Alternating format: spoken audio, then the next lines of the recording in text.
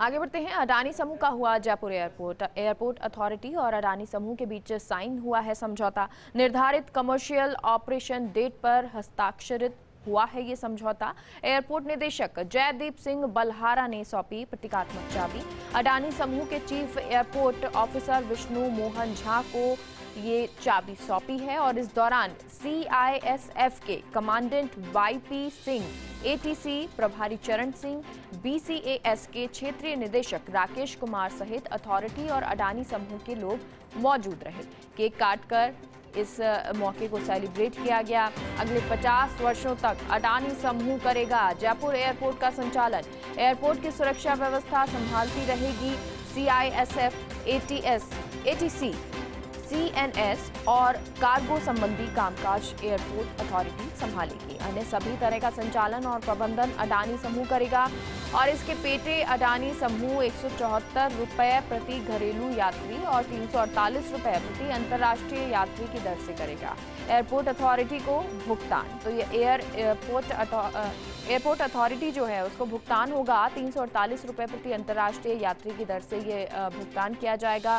इसके पेटे अडानी समूह एक सौ चौहत्तर रुपए प्रति घरेलू यात्री और तीन सौ अड़तालीस रुपए प्रति अंतर्राष्ट्रीय यात्री की दर से एयरपोर्ट अथॉरिटी को भुगतान किया जाएगा। तो अडानी समूह का अब जयपुर एयरपोर्ट हो गया है और उसकी तस्वीर भी हम आपको दिखा रहे हैं।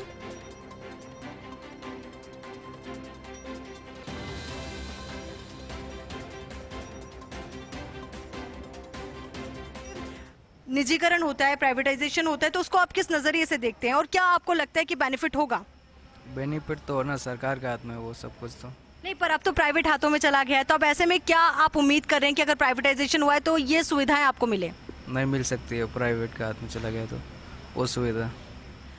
कुछ लोग इसको लेकर नेगेटिव भी नज़र आ रहे हैं। उनका कहना है कि अगर प्राइवेट हाथों में चला गया है तो सुविधाएँ नहीं मिलेंगी। पर ऐसे में ये पूरी तरीके से सच नहीं हो सकता, क्योंकि सब अलग अलग लोग हैं अलग अलग लोगों की अलग अलग विचारधाराएँ हैं। कुछ लोग और भी हैं, उनसे भी जुड़ेंगे, उनसे भी बात करेंगे कि प्राइवेटाइजेशन को वो किस तरीके से देखते हैं।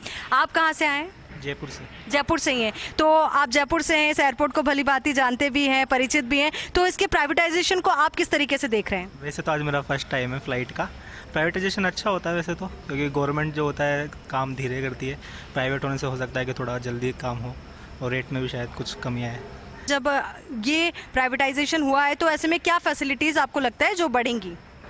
अब वो टाइम बताएगा, वैसे तो देखा जाए तो सब कुछ फास्ट ट्रैक हो जाना चाहिए, जैसे जो कभी कभी लैग हो जाता है चीज़ों को लेके, कोई मिस हो जाती है, वो सारी चीज़ें कट ऑफ़ होके और फिर कहीं अच्छा डेवलपमेंट आ जाएगा इस चीज़ के अंदर।